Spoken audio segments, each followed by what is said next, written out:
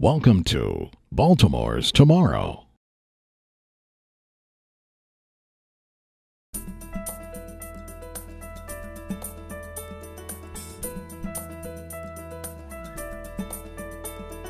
The Red Line's preferred alternative promises convenient east west rail travel that quickly gets you to where you want to go. This 14 mile route unites city and suburb, stretching from Woodlawn in western Baltimore County to Hopkins Bayview on the city's eastern edge and making key stops along the way. The Red Line provides easy connections to park and ride lots, MARC rail stations to Washington and Aberdeen Proving Ground, and to the city's light rail and metro lines.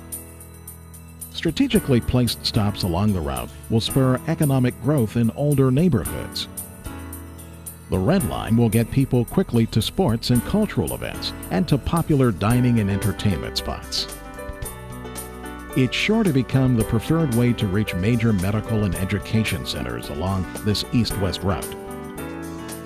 And it offers people working for major employers an excellent alternative to frustrating and expensive car commutes on crowded streets. For people living or working in West Baltimore and Woodlawn, the Red Line offers exciting travel options starting at the Centers for Medicare and Medicaid Services, a major employer, and continuing on to Security Square Mall. That in the future could include more shops and apartments, similar to Hunt Valley Mall and its light rail station. Or Security Square could resemble multi purpose transit stations in Los Angeles, Dallas, and Portland. It then proceeds to Social Security headquarters in Woodlawn, an important federal complex with 13,000 workers who could benefit from having another commuting option, alleviating some of the contributing traffic congestion for residents. Then the route continues eastward. From the I 70 park and ride lot, the red line goes underground, traveling beneath Cook's Lane, then resurfaces on Edmondson Avenue at street level. The I 70 Park and Ride station, situated just west of Ingleside Avenue, will intercept commuters coming from the west, giving them an alternative to slow, crowded streets and helping to reduce rush hour traffic on Cook's Lane and Edmondson Avenue. Station architecture is currently being developed with community input to create safe, secure, and well lit areas that will establish visual landmarks for neighborhoods. As the train glides into the station, passengers can easily walk directly onto these sleek light rail cars. Upon leaving the park and ride lot, the red line passes over Ingleside Avenue and through an area that could be converted to greening, open space, or transit oriented development after existing pavement has been removed from the obsolete I 70 stub and interchange. It then proceeds into the tunnel under Cook's Lane, a narrow, steep roadway. Plus, the twin tunnels will accelerate light rail travel time.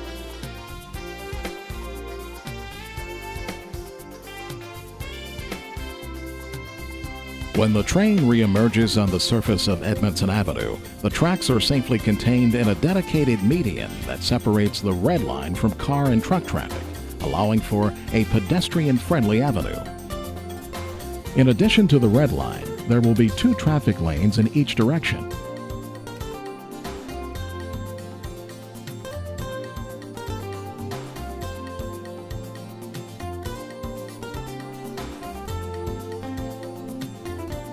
This realignment also creates an opportunity to improve roadway landscaping and construct new sidewalks along Edmondson Avenue. There will also be other improvements for pedestrians, such as safer crosswalks and better lighting.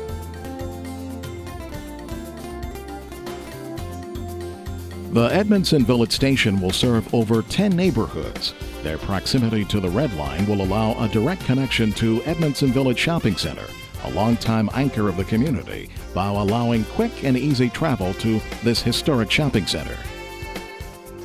A station in this location will also serve Edmondson West Side High School, a renovated Pratt Library, and the new Uplands community currently under development. The Red Line is a convenient way to reach workplaces, churches, medical offices, schools, and entertainment sites.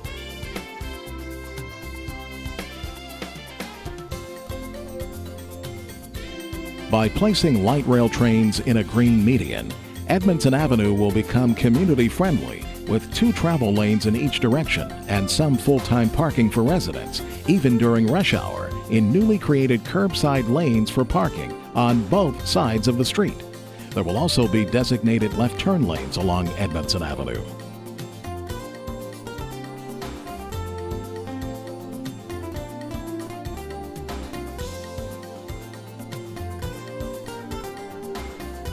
The next red line stop is at Allendale.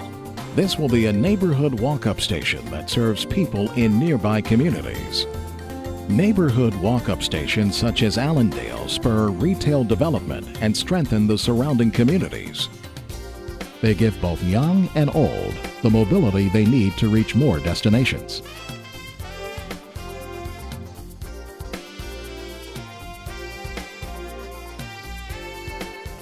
Once the red line crosses over Hilton Parkway, it crosses the tree-covered Gwynns Falls Park on a new bridge.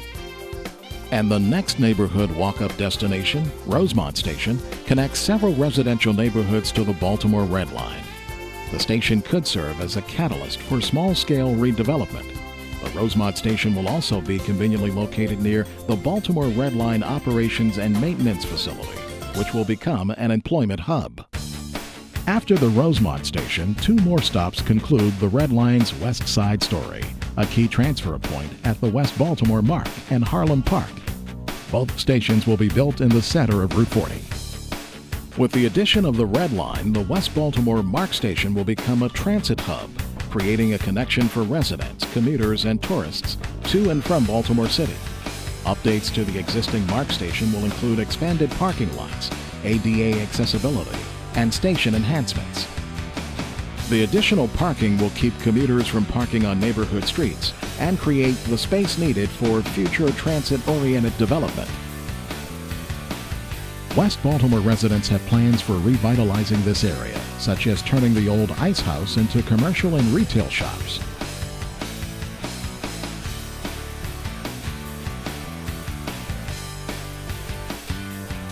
The Red Line then leaves its West Baltimore MARC station and continues along the lower level median of US 40 to a neighborhood walk-up station located between Calhoun and Carey Streets that will serve Harlem Park, Franklin Square, and other historic West Baltimore neighborhoods. At this station, area residents can take elevators or stairs to reach or leave the passenger platforms. Ahead lies a red line stop near Martin Luther King Jr. Boulevard and Baltimore Street. Upon leaving Harlem Park, the red line enters a tunnel which allows fast, reliable operation through the region's heart.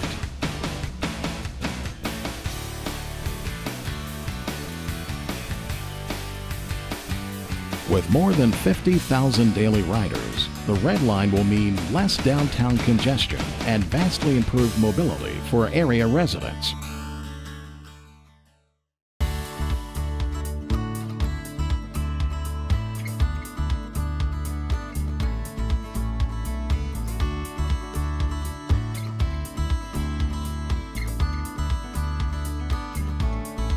The Red Line's Poppleton station will serve workers at UMB's expanding biopark, residents living in the developing Poppleton community, as well as residents in historic southwest Baltimore neighborhoods such as Hollins Market, Barre Circle, and Pigtown.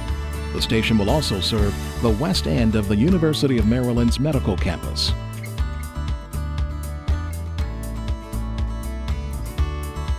In addition to improving mobility, Light rail transit is environmentally friendly since rail transit emits less pollution than cars and trucks. Once trains start running, new jobs will be generated mainly in the new office buildings, stores, and other development around Red Line transit stations.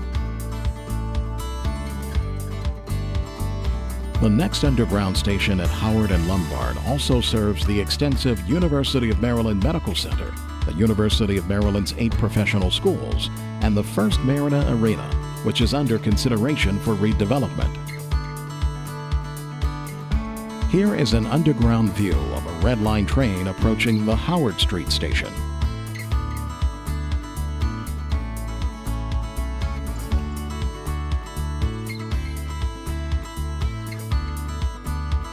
It's a simple walk from the platform to escalators that take you to Howard and Lombard Streets.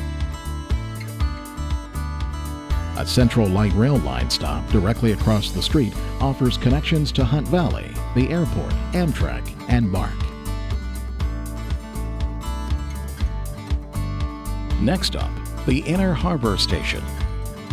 The Inner Harbor Station will provide an inexpensive travel option to downtown Baltimore office complexes, the employment center of the city, as well as the Inner Harbor for entertainment and tourism.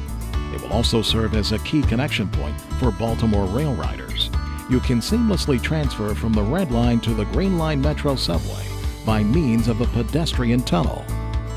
Both the Howard Street and Inner Harbor stations are convenient to office buildings, restaurants, and hotels. As the Red Line leaves the subterranean downtown station, it passes underneath Jones Falls and President Street. With the tracks about 60 feet underground, the trains quietly travel under the Reginald F. Lewis African American History Museum and Little Italy. Then the tracks turn under Fleet Street to reach our next underground station, Harbor East. This lively harborside setting already is home to hotels, business towers, popular restaurants of Little Italy and Harbor East, movies and high rise condos, and housing developments such as Perkins Homes and Albemarle Square. The Red Line then resumes its eastward route, traveling beneath busy Fleet Street towards its next stop, the Fells Point Station, at the foot of a redeveloped Broadway market, planned as a trendy mix of shops and residences centered around this historic market. The station will connect residents of this historic maritime neighborhood to jobs and leisure activities. It will serve as a vital travel link for the Broadway area's growing Spanish speaking community. And it will provide tourists easy access to Fells Point's eclectic mix of pubs, boutiques, eateries, and festivals without having to search for parking on narrow, cobblestone residential streets. The Red Line now continues east under Fleet Street more than 50,000 people a day will use the Red Line, linking them to MARC, the Metro, Light Rail, and MTA buses. After the tracks turn onto Boston Street towards Canton, they remain underground.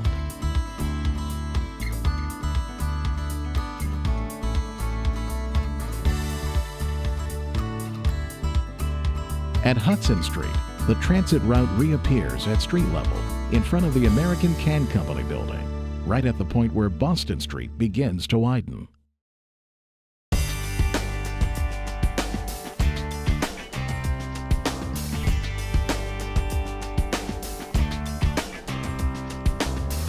Note that these tracks are safely contained within a dedicated green median that separates light rail trains from car and truck traffic. Canton's Red Line station will be located just west of O'Donnell Street near the Can Company. This is known as a neighborhood walk-up station, and it will be used primarily by residents living nearby and visitors to the area. It gives young and old the mobility they need to reach destinations around town quickly and inexpensively without a car. Left turn lanes on Boston Street will be permitted at appropriate intersections.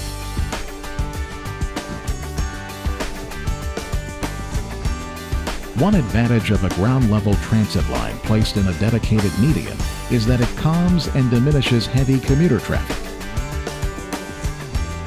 Boston Street's boulevard character will be maintained with greenery, sidewalks, and lighting. Pedestrians will benefit as well from other amenities, including safer crosswalks.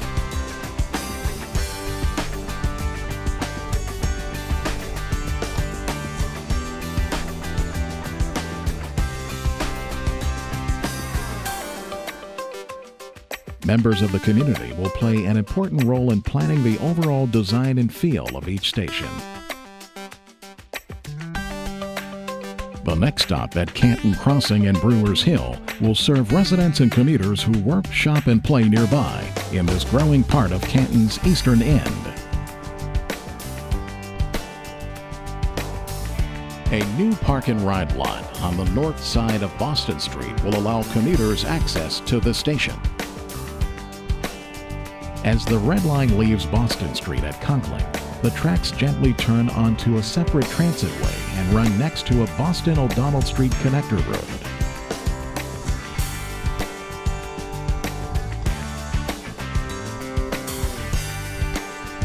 The red line passes under O'Donnell Street and proceeds to the Highlandtown Greektown station just south of the Eastern Avenue underpass, where an exciting transit-centered development is being planned. This station fills in a gap between Highlandtown and Greektown that will help tie these neighborhoods together.